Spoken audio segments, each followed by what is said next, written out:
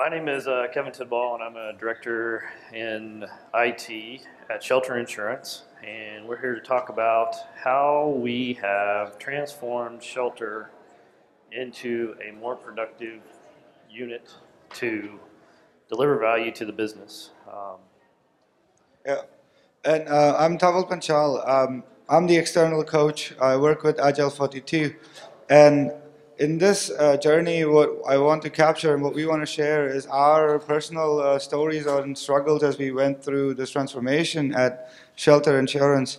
And uh, to kind of give you a taste of where we are, I want to show the start and the end state. So if you look at where we started, this is for a spin-off for a completely new insurance company.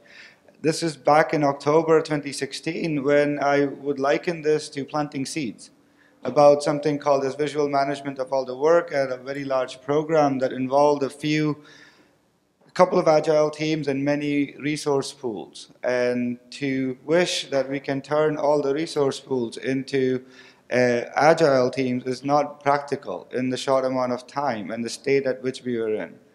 Would you like to kind of describe a little bit of where we are? Like if you look at where we went to, uh, we started right next to a garbage can, right? Our- literally.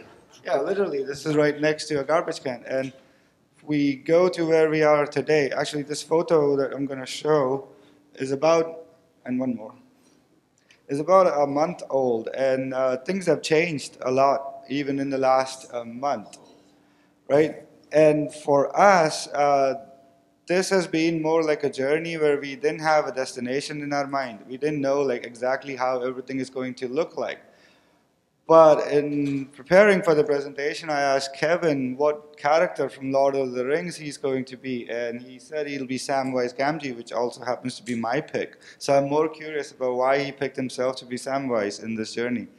Uh, I definitely don't think I'm the uh, the wise wizard of the bunch, nor do I have, you know, a lot of skills and experience. But uh, you know, I'm gonna do my best to to help um, to, to to help with the journey to get us there. Uh, I can't do it all. Um, I really can't do much of anything, but I will do my best.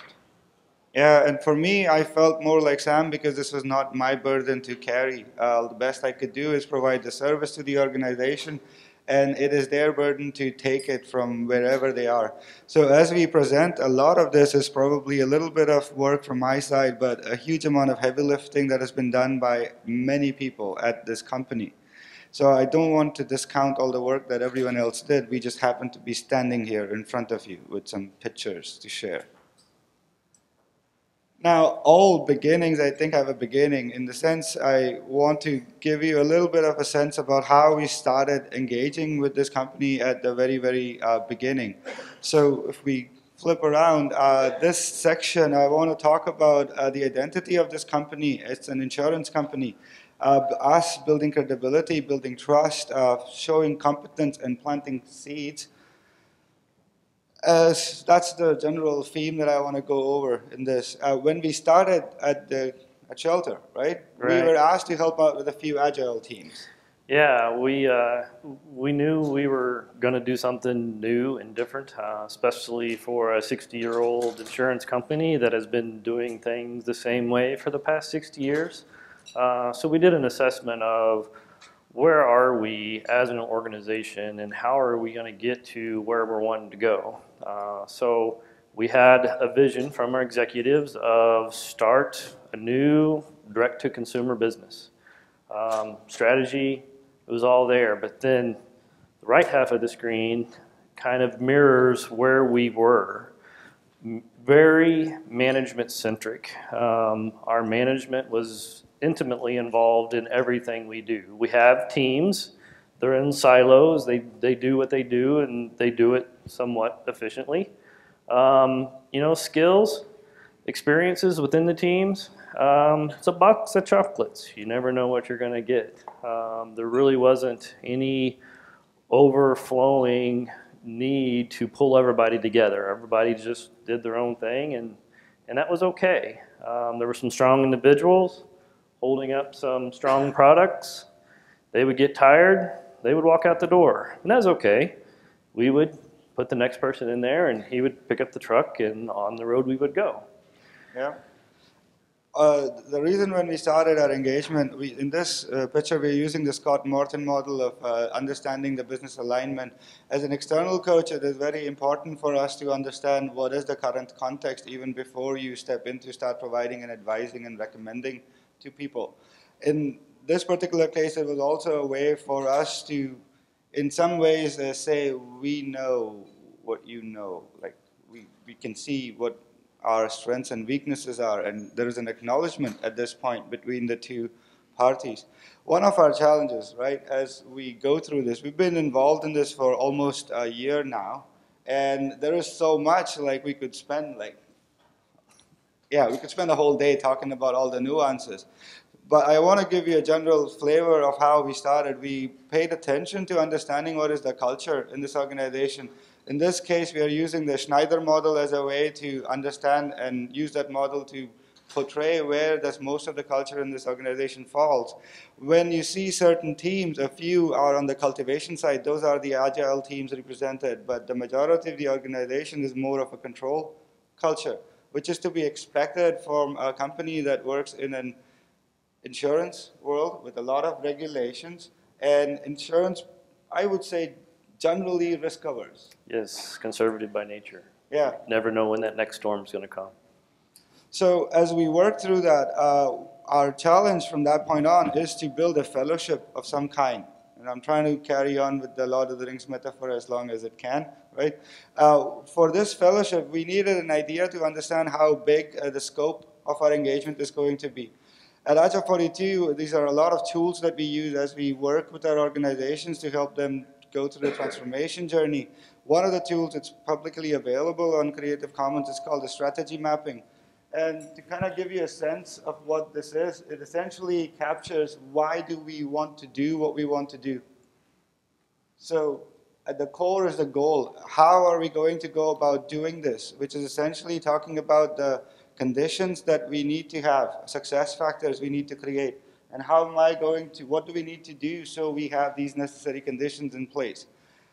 I'm trying to keep it very high level at the strategy map because this is not about how you do this, but I think I'm overlaying the Simon Sinek's uh, start with the why talk for you to kind of get a sense of it is very important to build a sense of purpose behind the people who are going to be helping in this transition.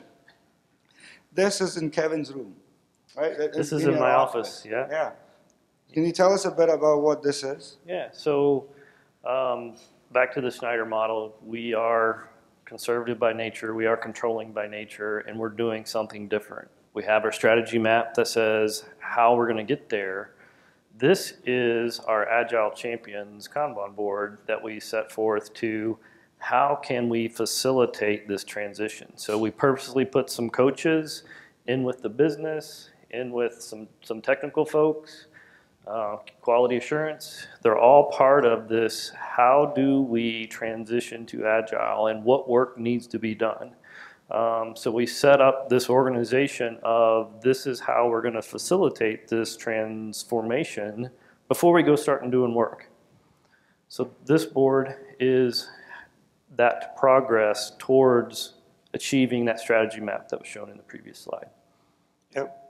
And the membership is around seven or eight people, right? They all fit in your room, yep. but a few people have moved in and out. Yeah.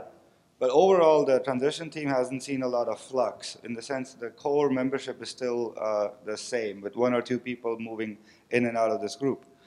Now, the direct initiative, and I think you are best able to describe this entire complexity. Right. right? So we put together our strategy map of how do we do agile we then focused on the, the initiative at hand, and we started gathering scope and, and looking at what all has to be done, and it's huge. Um, it impacts um, most every facet of our organization. So this is a synopsis of, we have some agile teams over on the left, some vendors, some legacy managed resource pools, they're all impacted. They're all going to have a role to play to deliver this direct initiative. So we've set up these teams. They begin to work, they begin to collect their stories, collect their requirements. Everybody's working to achieve a goal. Easy, right?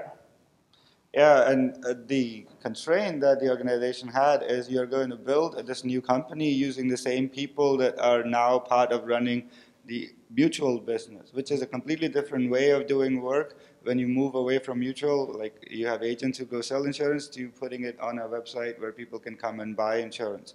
So organizationally, there are resource pools that are focused on doing production support, uh, building new features for existing mutual line of business, but at the same time, they are contributing towards building this new company.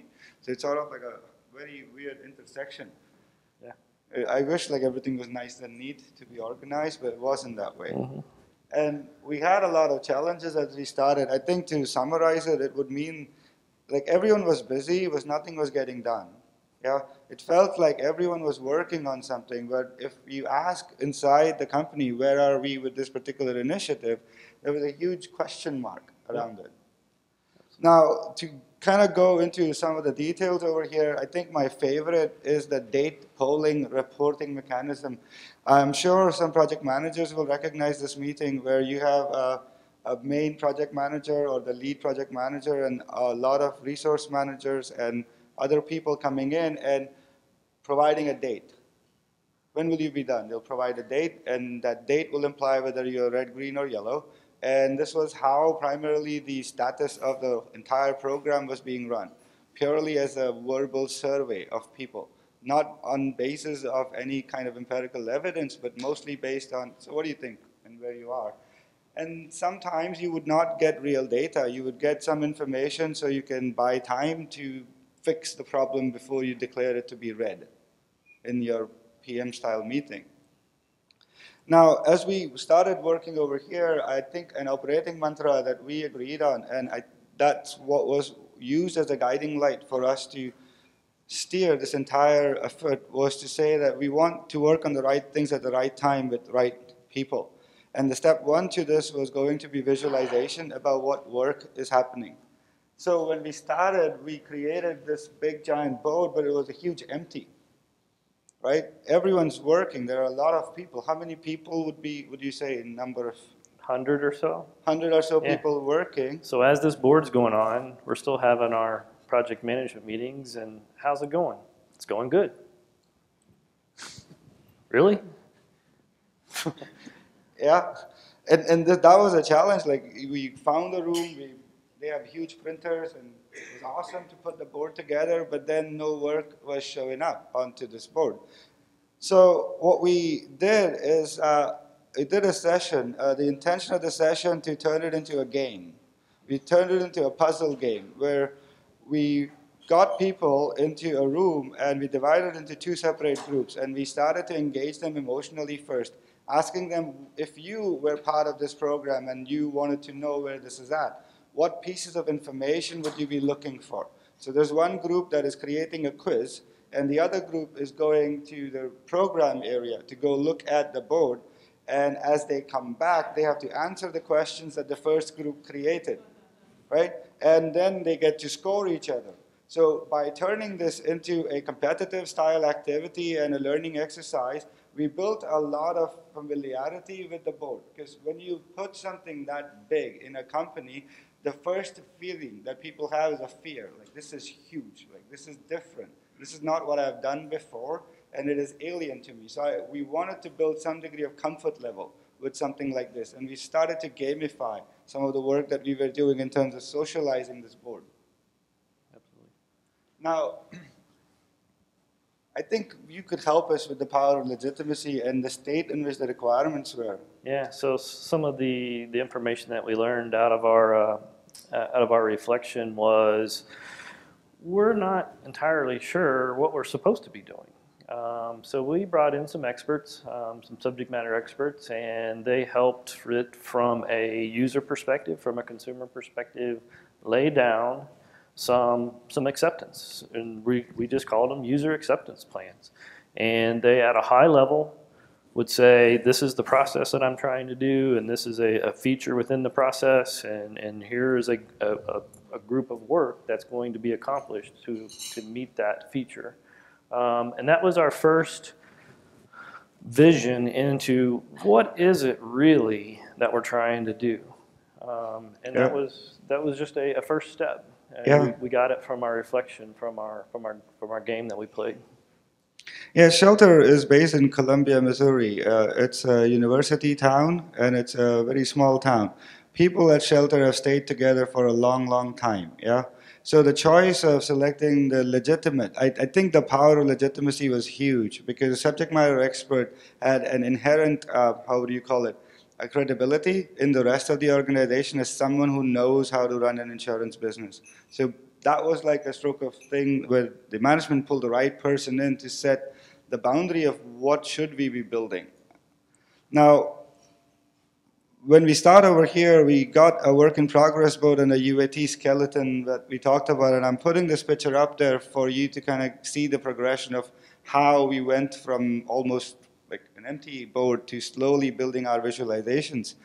Now, as part of understanding what capacity do we have, it is very tempting to kind of look and see and go uh, minutely measure every single team or resource pool's output, but that would have been too time consuming from just a reporting standpoint. If the cost of collecting the measure outweighs the benefit, then there's no point in collecting that measure. So what we decided is to use a very simple freeway analogy is if you were to put a chair next to an exit on a freeway, if you counted the number of cars that made it through the exit, you could reasonably well predict how many more cars will show up in the next week. It's not going to be perfect, but it's going to be good enough. And also, it's going to act as a very simple training set for the person uh, who was managing the big visual board. Because remember, they have not had an experience with an agile approach. So we wanted to keep the measures so simple that you could do it without thinking too much about it. So the team members, they had a responsibility to put a date when a item moved towards the right and when it passed a certain column, the project manager who was looking at the board would have to go and build a burn up shot. Yeah, v- very simple. Yes. Yeah, yeah, we'll, we'll- get there. Yeah. But this is like the very simple measure that we wanted to put in place rather than go complicated uh, at first. Now, another uh, notion that helped, and this was very helpful for traditional uh, folks because they looked at this Big Direct initiative as a big bang release that went out and we were now going to do stuff. We started using this notion of a release candidate, and the metaphor of the geese over here is to imply that when they were putting geese back in the wild in some documentary, a couple of project managers that they saw together at some point, they said, uh, it's a release candidate. We don't know if it's going to fly. Yeah? So that was a good metaphor to play with in our heads as a way to build buy-in towards smaller chunks of functionality. And we set our goal for these to be meaningful for the business, not just technically. Yeah, we took our, uh, our user acceptance uh, grid that we had and we just basically chunked it up into manageable pieces. Uh, one of the things that we were seeing is the teams would get distracted looking ahead or looking beyond what we would like for them to focus on. So these release candidates kind of put those guardrails in place to say, focus on this. Well, that doesn't make sense. That's okay. It may or may not fly. It doesn't matter. Focus on this and get this done first. Yeah, some of the challenges that we noticed were there were really passionate people about building this new insurance company, super excited about this feature that no one else has, but that goes way beyond into the future. First, you want to be a legally valid insurance company before you make all the fancy features. But most of the teams are trying to run and gold plate on that side as opposed to standing up a basic insurance company. So that was the guardrail stuff that helped even the product owners to work on it. This purpose of the single page roadmap was primarily for Kevin and his peers to have a meaningful discussion with the C level in terms of where are we headed. Absolutely. This is another way that we use to put uh, those measures in place and to, to communicate our progress being made as the project, the program as a whole. Um, and it just uh, allowed us to break those down, keep people focused, but also use our, our, our measures to show progress. Now, when we when I planted the seed that we need a one page a single page that will guide the effort for 100 people on this particular F, on this thing. Uh, I was asked for how do you give me an example of the roadmap. So I gave my example, which is the perfect example. It's awesome. But then they did not take it. And they created something that was their own. That was a huge learning experience for me.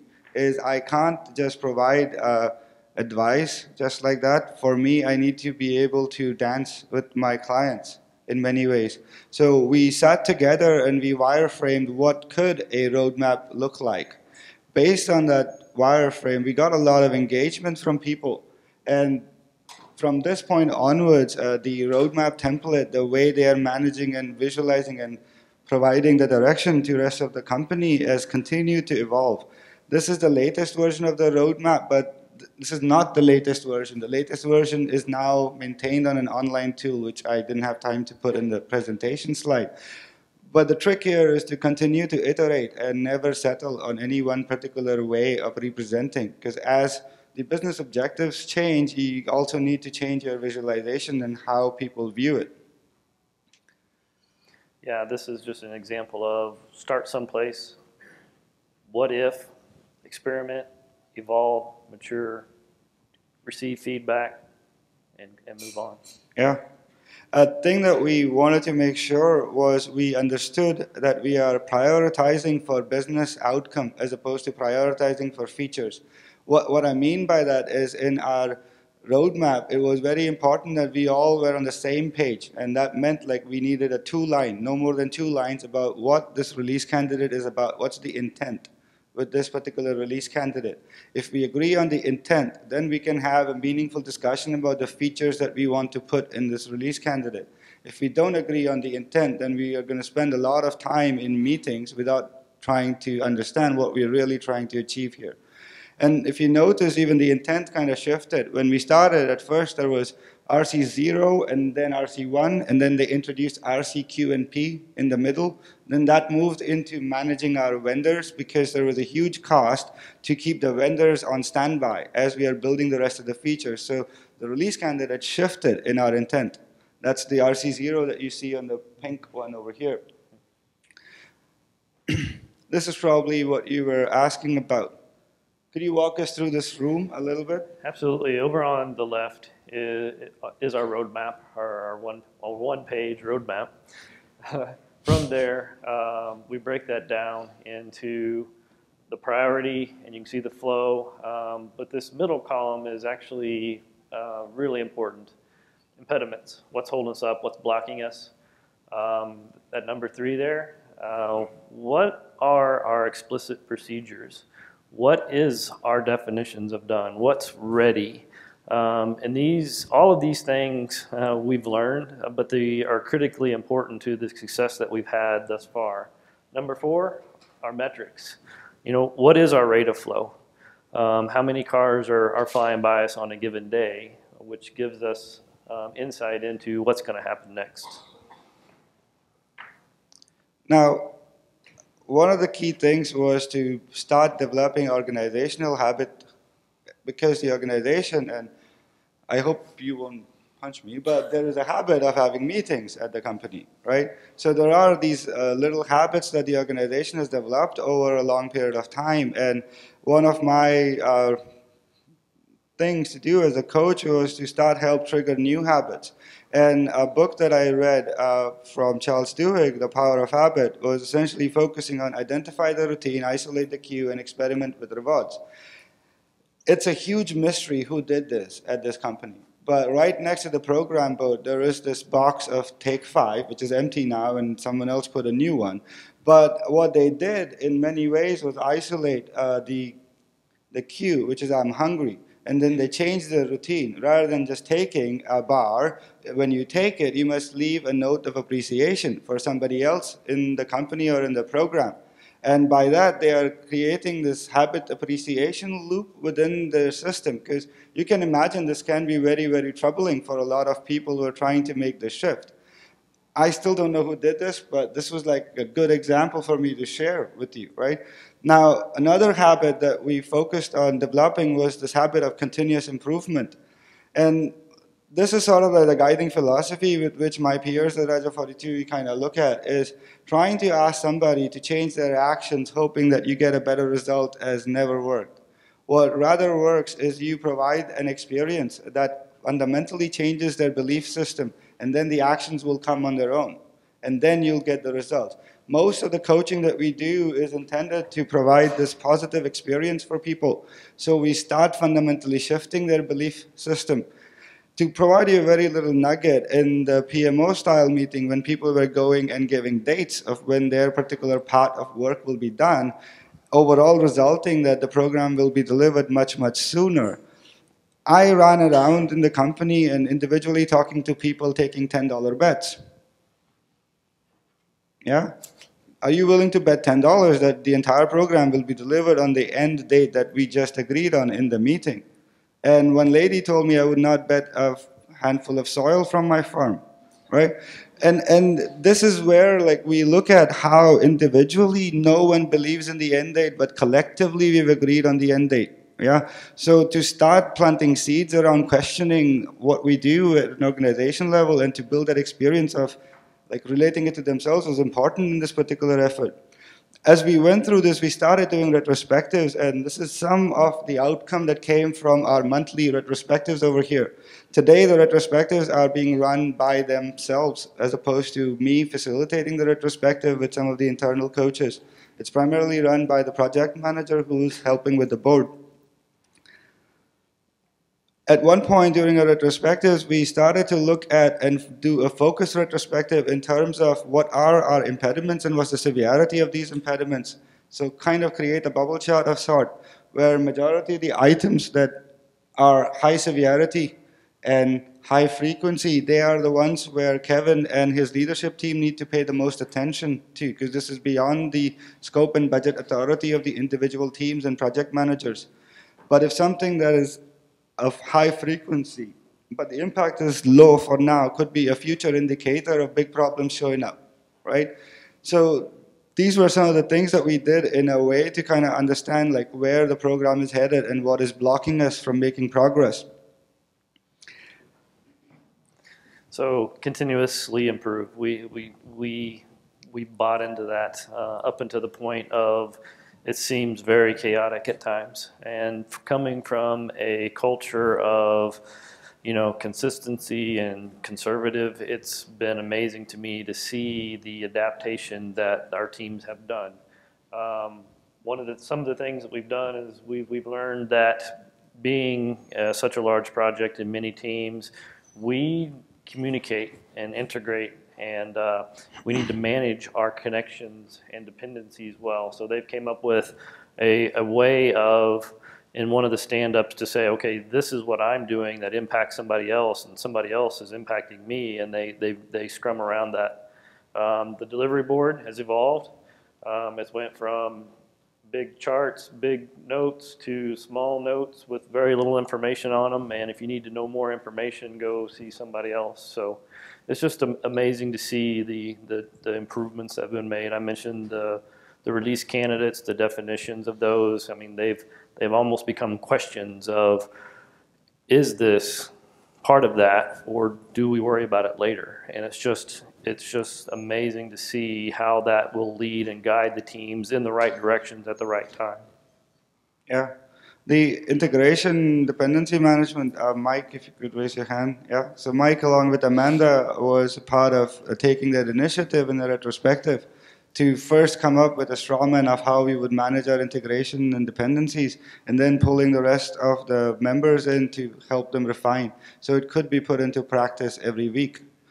Also, what we found was even though the room was really, really small, uh, because we were learning how we are working together, we never had a final, final visualization. In fact, one part of the wall was always a pilot of the next visualization board coming in, primarily because you have work that is in flight right now, and we can't deal with that many post-its. So if there is any future work coming that gets piloted on the next version, and when work from one version is over, you just slide the big thing onto the side. So you're continuously improving the visualization techniques as the program and its needs are evolving, which is sort of I thought that was really, really cool of how they continue to do that even today. Our biggest challenge was probably adherence to the explicit policies. Uh, when we have 100 people, some of them are agile teams, other people come from traditional resource pools. Um, we had very low confidence that when we put something in the definition of done or when we put like this is ready for functional testing and these are our expectations in terms of the environment that will actually be followed. Yeah, this, this came out of some of our retrospectives and, uh, you know, our dependency matrix that we talked about, this is, you can go and see who you are impacting. You don't have to guess or know. Um, the, the information is there for, for everybody to see. The policies, um, th this is very key um, to some of the other things we're doing far as quality. One of the things that we've noticed, uh, we'll speak to, uh, I think it's on the next slide, yeah, is uh, how do we know that we're making progress? We have our metrics, things are flowing by, but is it truly what we expect? Um, and this helps us with defining what is it that we expect. So therefore, test early, test often, uh, you know, bring the pain. Let me know what's going on. Did our first round of testing? Yeah, we know what's going on. It ain't good. In What- fact, the way the first round of testing happened was uh, when they declared the date that we are going to do a first level functional test pass on the entire product as it exists in a production like environment. It was a mo- almost a month before that date that everyone started expressing that we will not have anything ready for testing. Yeah, and uh, the the stroke of genius, I think, or the I think the good part from Kevin and from the leadership was to say it doesn't matter. That's the entire point of testing is to find out what is broken. So if it is incomplete, we will run through our test pass and we will mark it as incomplete. But being able to run it on time, it was only pushed by a few days. Yeah. Yeah, but it happened. Yeah, and when it happened, uh, discovered a lot of issues. One of the first issues we discovered was there is a complete misunderstanding in our testing strategy. While the teams were understanding they were going to test up until one point, the functional testers were expected, and by functional testers, these are people who are going to use the system as an end user running through about 10 to 20 percent of the scenario, not doing a full deep dive test on the entire application. There was a huge gap in the kind of testing that was not happening, right? And we were able to identify a lot of issues with the way we were capturing our epics and expressing them, the way meetings were being run in order to communicate the epics to the delivery teams, because there was a huge gap in that. So by doing a full test pass, we kind of learn how long it takes to do a full test pass and what is broken. Like, let's find out that bad news today as early as possible so you can do something about it. Yeah. So we went through that learning experience, and along comes test number two. Some of the same problems. The test is coming. We're going to test. Are you guys ready? Yeah, we've learned. We've got this. You know, smiley shades. It's all good. No, not not quite. Still got problems, but they're not that bad. We had small gaps. What have we learned? What can we do next? Those are all the questions that, that we ask ourselves as we're going through this. So, uh, Yeah, I mean, the, the only way we felt we could express it is a range of emoticons. Because when the second test pass went through, everyone was going through this whole uh, different sense of emotions. I think a good thing that came about with the second round is now we are not doing, at least we are learning how to do small size functional testing as opposed to doing big batch functional testing. Yeah, it's a small incremental step towards a larger purpose of being able to test all the time, but it's going to take effort. Now, there were a lot of activities that were going on. My favorite was that we removed the red, green, yellow PM status meetings, and then there were a lot of activities that I think you're best suited to describe. yeah, so we try to communicate to the teams, to the executive sponsors, and we've come up with a theme. We've tried to minimize this. We've tried to cut it as much as we can. Uh, you know, it, it starts with, you know, a, a very small core group of, of leaders that are on the floor and, and have their finger on the pulse. Um, we meet once a week From there, we go into a, um, a pre-planning um, with some very key stakeholders from a business perspective. And we'll take the outcome of that pre-planning into a program planning. Um, once a week, we meet with all of the, the program owners, um, product owners, and we will plan of where are we at and where are we going and allows them to, on their cadence, whether it be legacy or Scrum or Kanban teams, to make their plan and also know how they're impacting other people. We, we Scrum at the, at the program board uh, twice a week, uh, Tuesdays and Thursdays, and we've even cut out a Tuesday meeting based upon, for meeting for planning and, and our daily, our weekly stand-up now. Um, there's no need to do that twice a week. Get the technical folks together, get the business stakeholders, maybe not just the product owners, but everybody that's impacted by what we're doing, get them together, communicate to the executives, and keep it simple. Keep it short, keep it sweet. Yeah. Uh, one of the other aspects is a monthly software demo, and where the team started initially was to do uh, a demo of whatever they had produced right? And that was a good habit forming exercise for people to feel comfortable and being able to showcase what they are doing. But then later, the expectations from the demo started shifting in terms of understanding what is it that we are delivering at an epic level, which a business person will understand, as opposed to a small uh, user story level. And now I recently learned your CEO was in the demo. Yep, he showed up um, and just very interested in what's going on. Um, there's been some demos that we'll have where the teams come and say, well, there's no need to have a demo. There's nothing that show it doesn't work. But so we still have a demo. We still have a demo. And the answer is, we don't have anything to show, but why? And we'll, we'll open up that, that path of communication. So very interesting. Yeah. I mean, looking ahead, uh, the company is not yet launched, right? It'll hopefully happen soon. And uh, I think as part of this journey, uh, by engaging with uh, the people who are trying to provide an update on the program and manage the program at that level, I think we have triggered a domino effect. One of uh, the coach that the Agile Champion uh, person, like the, the, coach Douglas, has on his desk is uh, change is hard because people overestimate the value of what they have and underestimate the value of what they may gain by giving that up think that's been like sort of our coaching mindset all along is you have to acknowledge that people who are working the way they are working, they value a lot of the way the things are, even though they may be dissatisfied with it.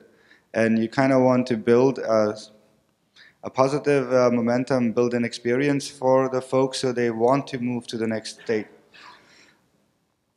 What we applied over here was more around looking at how we approach our agile transitions at a large scale where we consciously start with an assessment in terms of understanding the culture, understanding the mindset, understanding the identity of the client, then moving into jointly developing a strategy and rolling out small little experiments that may not seem to be much at first, but over time, these little experiments, I like to call them as not reject experiments. In other words, they just work for as long as they work and they are soon to be rejected for something else because there is no perfect experiment that you can ever run.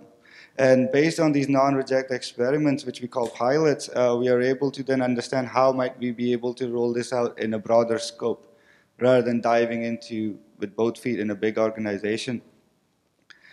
A thing that has happened now is uh, Kevin and his uh, peers have redefined the role of a manager. Yeah, talking about you know the the doing our experiments. Well, Agile in itself um, is a an experiment at Shelter, and some of the things that we've learned is what is the role of a manager. Um, back to you know our our our our start state of management was integral to our existing culture, and how do we change that? So we've looked into you know, managers aren't there to make business decisions. They're not there to make technical decisions. They're not there to tell people what they should be working on and when.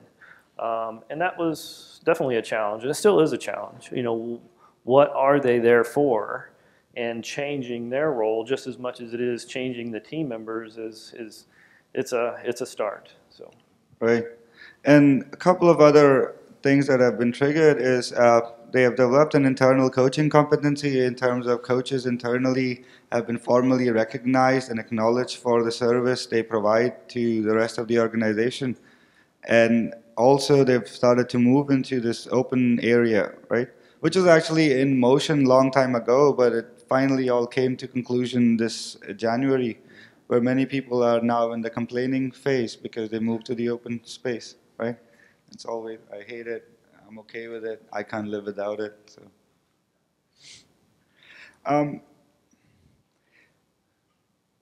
that's, that's pretty much us. Uh, we try to keep it short and sweet because we could go and do a deep dive into a lot of things. And I wanted to open this up for some questions if you have, and one of us uh, might be able to answer it for you. Mm -hmm.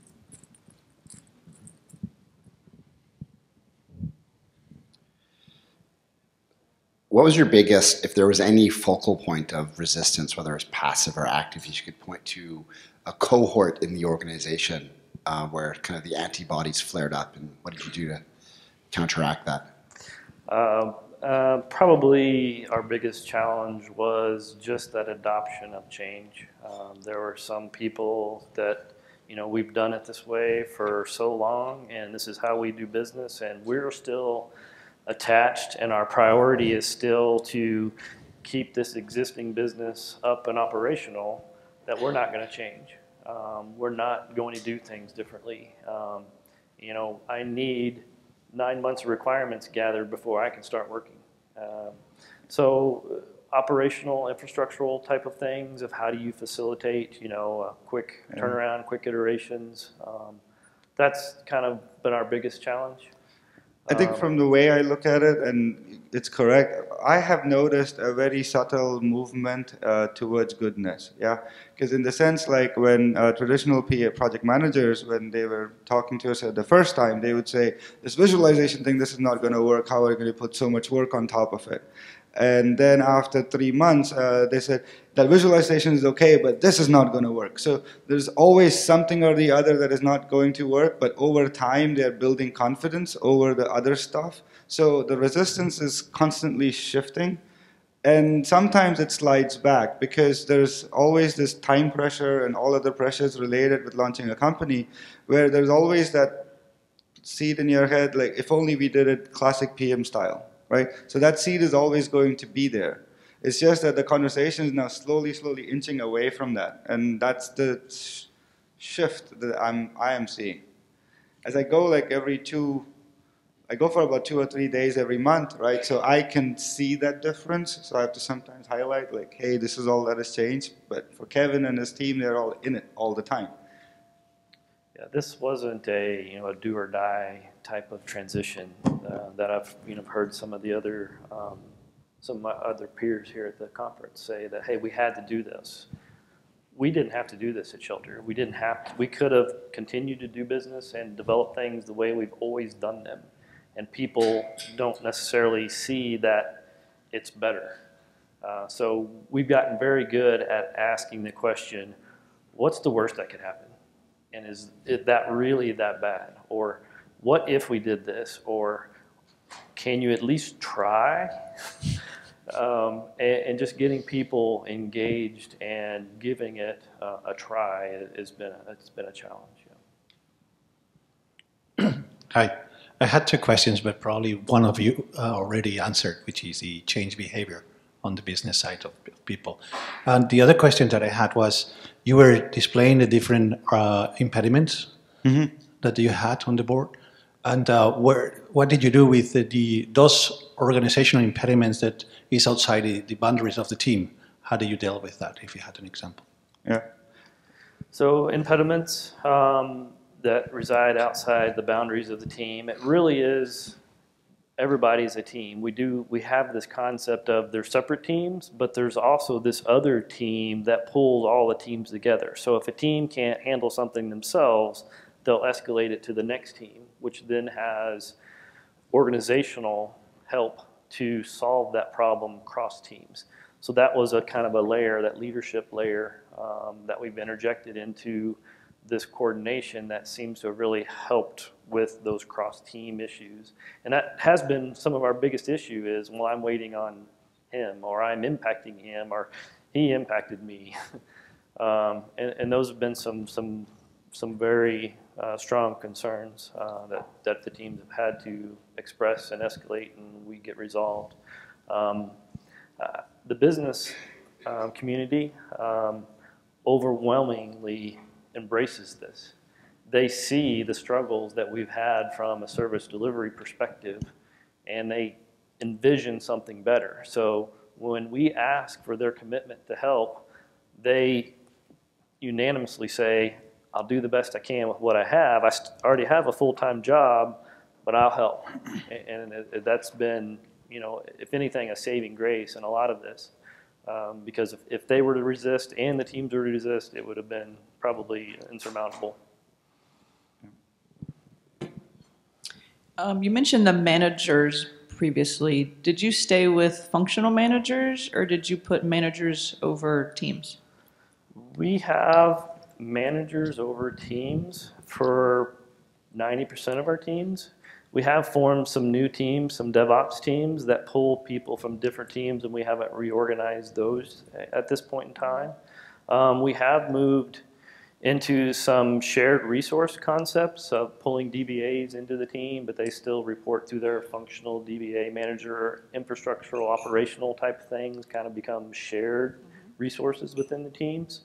Um, but in general, we were, we were organized fairly um, in alignment with the business before. We were just doing things legacy. One of the things that we continue to be challenged with in the business community is being as incremental as we can versus building this really big RC, right? Are you challenged with that? And what are some of the techniques that you use to get through that? Absolutely. Um, at the program level as well as at the team level, we've kind of formed this um, triad of leadership between business, the technical side, and the glue or the process that, that holds everything together. So we have had this negotiation. Um, the business says, I want this. But they don't realize that this is this. So we'll come back and we'll say, well, what if we do this first? Does that have value to me? Oh, that doesn't have value to me. Well, what about this? And we, we try to scope it as small as we can from a technical implementation perspective and have that conversation with the business. And sometimes they say, I don't understand, but if it helps you, I'm all right with it. Um, and sometimes they say that makes perfect sense. Or what about this instead of that? And we'll do this, and then we'll do that. And it's it really is um, has become uh, comical at times between the negotiation between what can we do and what's realistic, and how do you chunk things up to show continued progress. Um, and they, the business sees that as value of, I have something. It may not fly, but at least it's an egg. And you sit on it long enough and it hatches, and someday it may fly. Yeah. And, and, and that, that, that process is, is it's, it's, it's Uh, been great. Just one last comment on it. Uh, prioritizing features doesn't help. Uh, prioritizing business outcomes is a lot more valuable. So by articulating our release candidate intent, uh, we took away the conversation from will I have my favorite feature to what business outcome do we need? And when you look at business outcomes, you realize that there's a very few features that often are needed to satisfy one business outcome. So that was a shift that we started to make with the uh, intent for release candidates in the roadmap. I thought it was really interesting that you said that you take bets and that individually people don't believe in end dates, but collectively they all agree. So what exact, what was the forum? What exactly, how exactly did you handle that? Did you go back to the group with the teams and the bu- business folks together? Did you negotiate the dates all over again? Um, I mean, what would you do if you do have an external client and you have a date? so if you know me, I like I'm a trickster at heart. So uh, I would go and engage with traditional people by opening the conversation by taking a bet, because traditional folks uh, look at me as that agile guy that shows up, right? So I need to have a warm and interesting way of opening a conversation with new people and taking bets was my easiest way. Yeah. Now, what I never did was went in the meeting and shared this with everyone in public. But as we talked to most people, uh, planted the seeds of recognizing that something's not right with our red, green, yellow PMO style meetings, and building a case for visualization one person at a time, whoever wanted to listen to me, rather than pulling a big meeting and saying we're going to do this. In, in other words, I, per, I genuinely believe that 90% of any meeting outcome is decided outside the meeting before the meeting even happens. So if you don't control that, then the meeting is just a waste of everybody's time, right? So by the time we were there to work on the visualization, I knew that there is enough buy-in individually. I just have to have a mechanism to show that everyone else is supporting this idea. Does that make sense? Sometimes it's as simple as just asking the question, well, why, why do you feel that way? And you may gain insight into not necessarily anything internally to that person's feelings, but they may feel something about somebody else. And that allows, gives you insight into other information that you may not have at your disposal, but it gives you that trigger to do more research.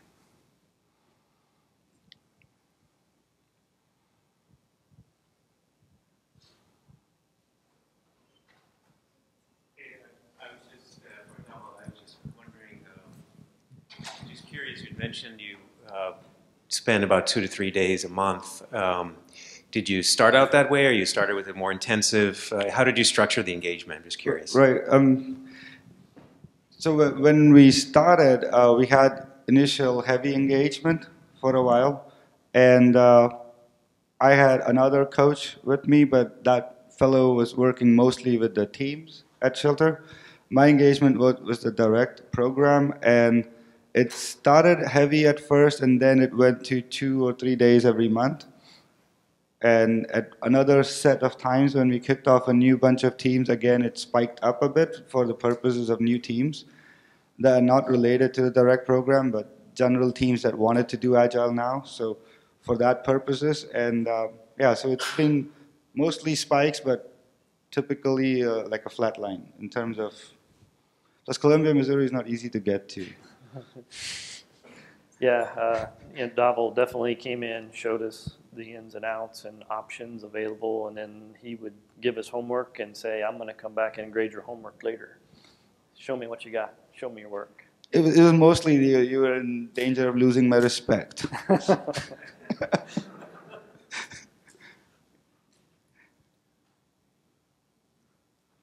Anybody else? Well, thank you.